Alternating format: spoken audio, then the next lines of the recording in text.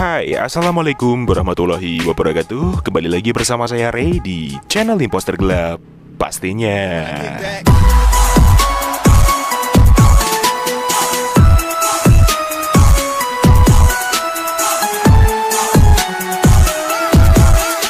So, bertemu lagi dengan gue Ray di channel Imposter Gelap pastinya. Teman-teman di hari weekend yang sangat indah ini kita akan menyempatkan spesial review dan share config terbaru untuk kalian semua di Gcam Nikita 2.0 yaitu config Celebgram by Imposter Club dan seperti biasa di config ini terdapat kata sandi atau password untuk membuka file ekstra confignya tersebut. Jadi kalian harus simak terus videonya sampai selesai. Jangan di skip-skip dan jangan lupa untuk like, komen, dan subscribe di channel Imposter Club agar kalian tidak ketinggalan dengan video terupdate lainnya. Terima kasih untuk waktunya, mari kita langsung ke tutorialnya.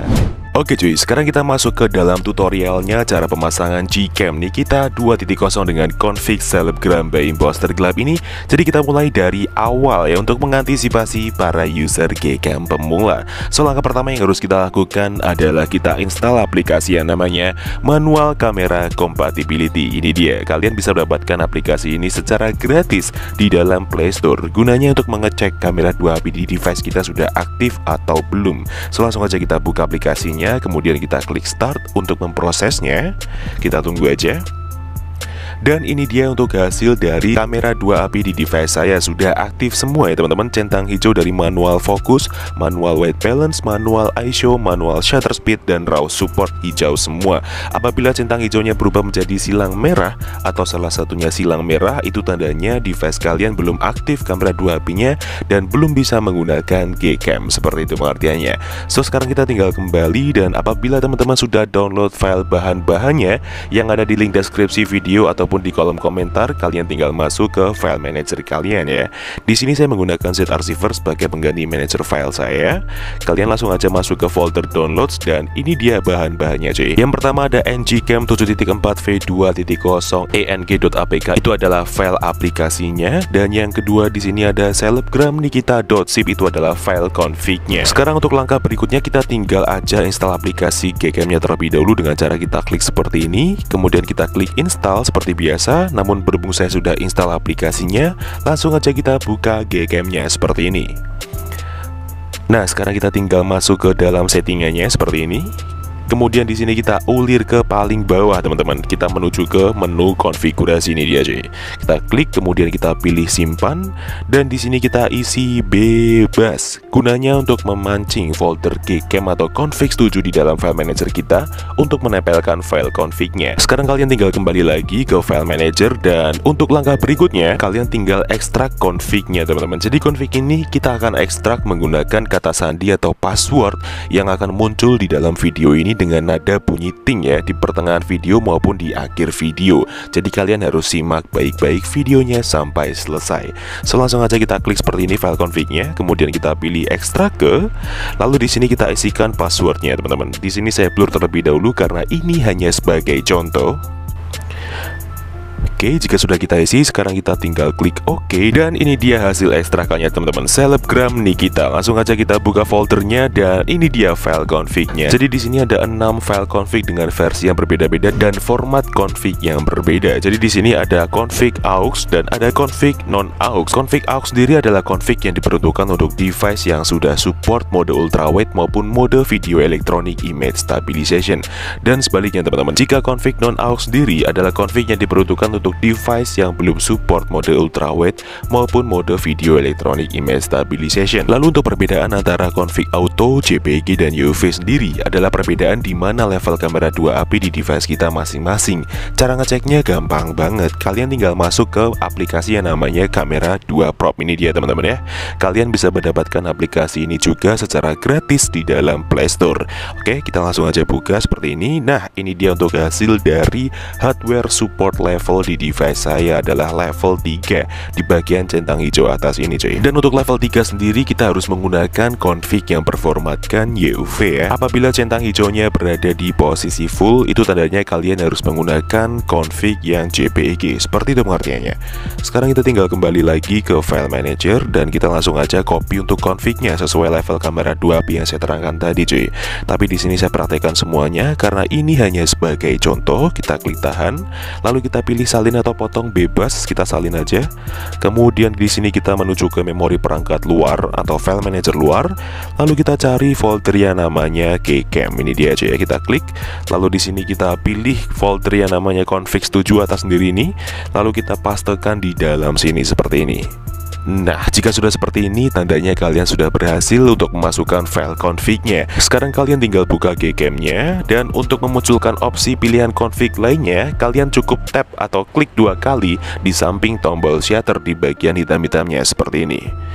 Nah, sekarang kalian tinggal pilih config yang sesuai saya terangkan tadi. Di sini saya pakai UV AUX karena device saya sudah support untuk kedua mode tersebut. Langsung aja kita klik kembalikan dan Ya, config siap untuk digunakan. So, sekarang kita langsung aja review gimana untuk hasilnya. Daripada penasaran, mending langsung kita coba. Let's go! Oke cuy, sekarang kita review di mode video terlebih dahulu Di mode video ultrawide dengan resolusi Full HD-nya Keren banget cuy. Wuhu. Ini stabil banget ya, bener-bener recommended banget. Walaupun ini hanya di preview, tapi nanti kita juga bakal lihat hasilnya seperti apa. Apakah juga akan sestabil ini? Langsung aja kita stop dan kita lihat untuk hasilnya. Let's go. Dan seperti inilah untuk hasil di mode video ultrawide-nya teman-teman. Gokil sekali ya, bener-bener stabil sekali hasilnya Dan kontras yang dihasilkannya pun juga sangat sangat natural, cerah seperti ini Exposure-nya pun tetap terjaga dan dynamic range-nya pun luas sekali cuy. So sekarang kita review di mode fotonya seperti apa. Mari kita coba, let's go. Oke cuy, sekarang kita review di malam hari. Saat ini kita menggunakan di mode potret. Yang pertama kita menggunakan AWP nonaktif ya. Langsung kita shoot. Kita tunggu sampai selesai HDR-nya Oke, nice karena config ini spesialis malam hari ya. Langsung kita buka hasilnya dan kita tunggu lagi Nah, dan jadi seperti inilah untuk hasil di mode potret. Yang pertama, kita menggunakan DK Cam kita dengan config selebgram by imposter gelap tanpa AWP aktif. Luar biasa ya, kita gunakan malam hari, exposure-nya masih tetap terjaga seperti ini Dan bisa kita zoom hasilnya benar-benar bersih, clean, dan tanpa noise teman-teman. Rona kulit manusianya juga aman ya Apalagi DK Cam kita ini ketika kita menggunakan mode potret Hasil gambarnya akan terbagi menjadi dua. Satu yang pertama tanpa blur, yang kedua menggunakan burst atau hasil dengan blur yang dihasilkan di mode potret ala-ala DSLR seperti ini teman-teman. So sekarang kita review di mode potret yang kedua menggunakan AWP aktif untuk selanjutnya. Let's go. Oke cuy sekarang kita masuk ke mode potret lagi. Kali ini kita menggunakan di AWP aktif ya. Langsung kita tap ke wajahnya dan kita shoot. Untuk menjaga kestabilannya kalian harus tetap tenang teman-teman ya. Jangan bergerak. Oke nice. Langsung aja kita lihat untuk hasilnya. Kita tunggu Nah ini dia teman-teman untuk hasil yang kedua. Kali ini kita menggunakan di mode potret dengan AWP aktifnya teman-teman.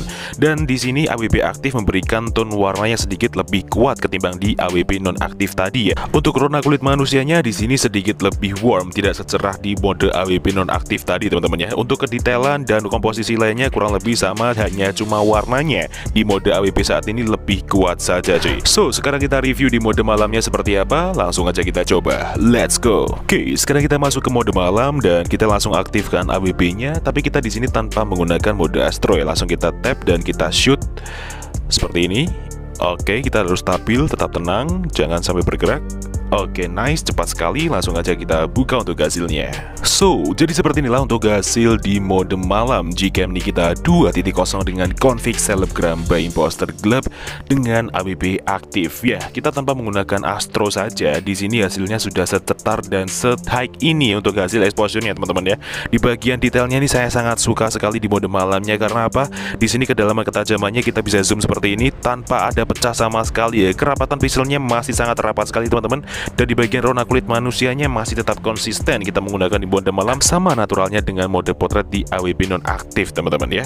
Hasilnya kurang lebih seperti ini. So sekarang kita review di mode malam astronya seperti apa. Daripada penasaran mending langsung kita coba. Let's go Oke cuy, sekarang kita review di mode malam astronya nih. Kali ini kita menggunakan di AWB aktif dengan mode astro 16 detik.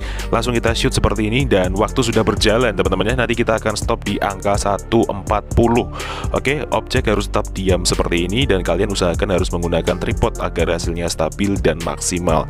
Oke, langsung aja kita tunggu dan kita cepatkan di sini teman-teman.